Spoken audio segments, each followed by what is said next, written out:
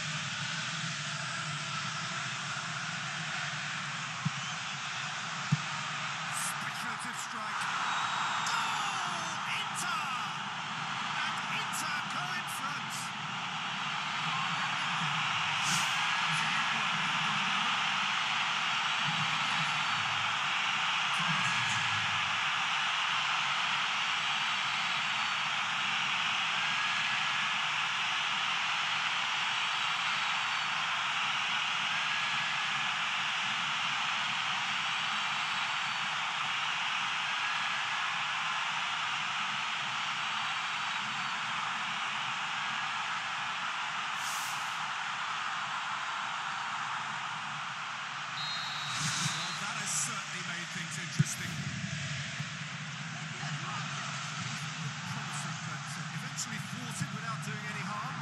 Forward it goes. Iturbe, he's onside. An apology for that. He needed to deliver a better ball. Juventus, a lot of games just lately. Squad rotation or tinkering start to become prevalent at times like this. Absolutely. I think nowadays the science that goes on behind the scenes can tell a manager who's in the best shape, so he can use that information now to juggle his squad.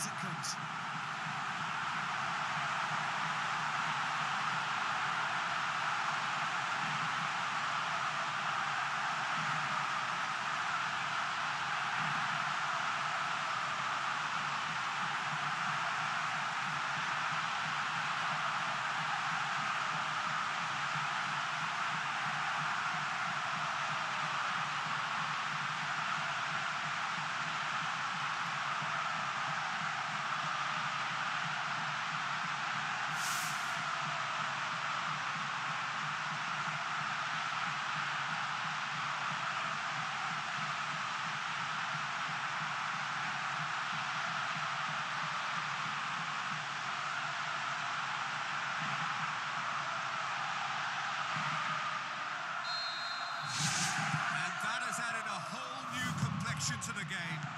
Yeah, we thought that this one would be close between two strong sides like this, and I think that just goes to prove it.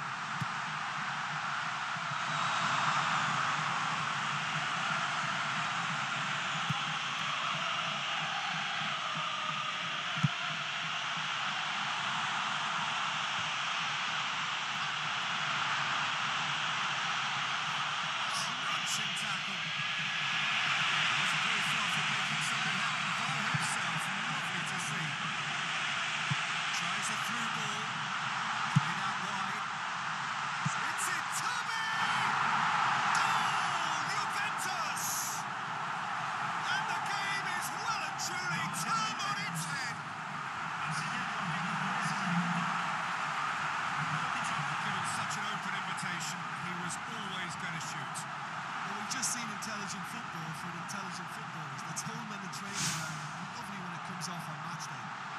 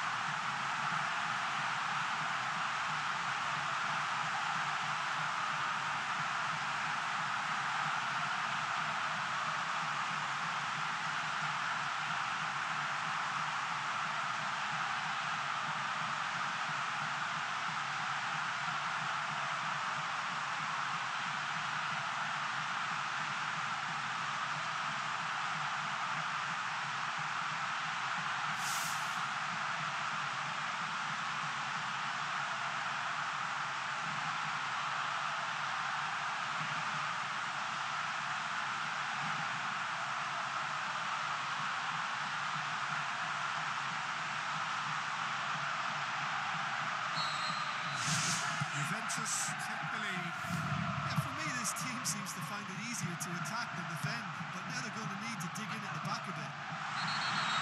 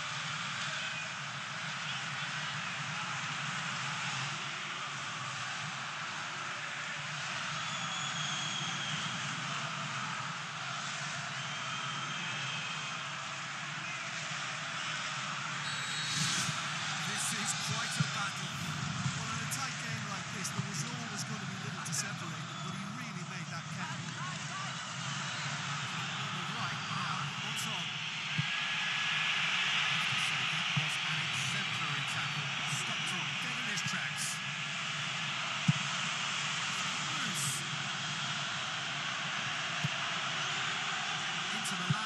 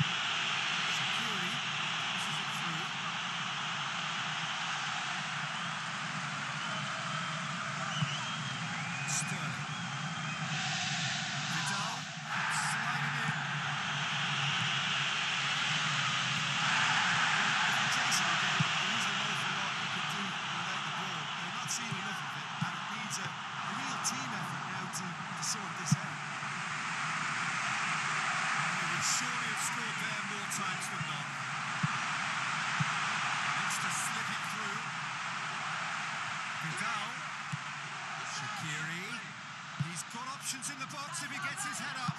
How about it?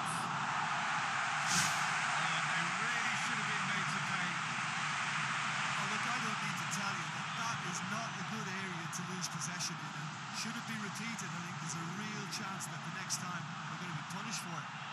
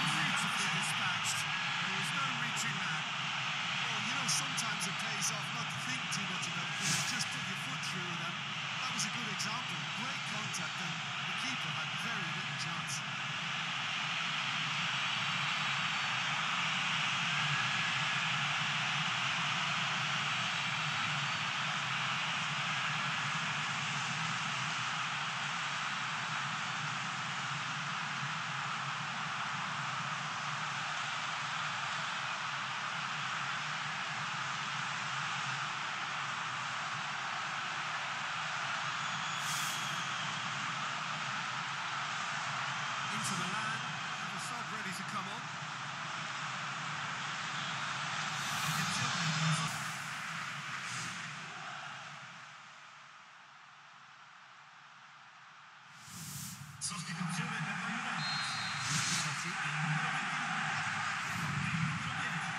subtlety, he's launched himself there.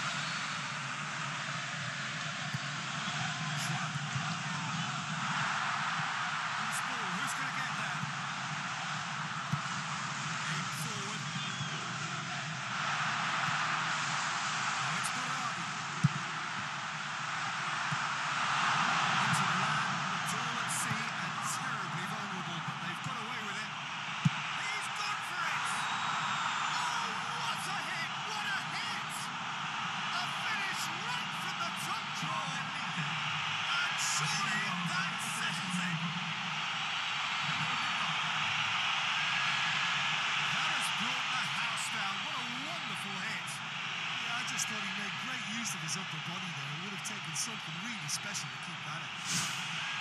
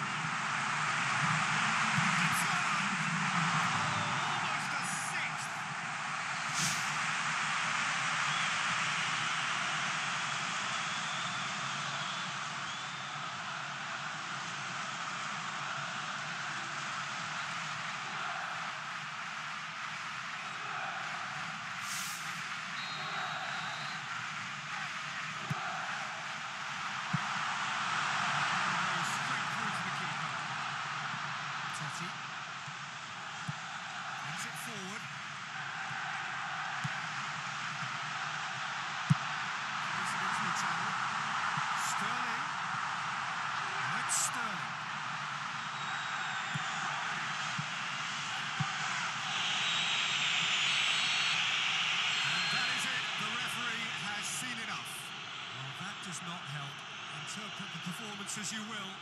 But the key truth is that they lost. Well, how will we look back on that? Well, remembering what the feeling was like, I can only sympathise with, the losers of any derby. It's a, it's a horrible experience, and I doubt we'll see these players ever take it. I think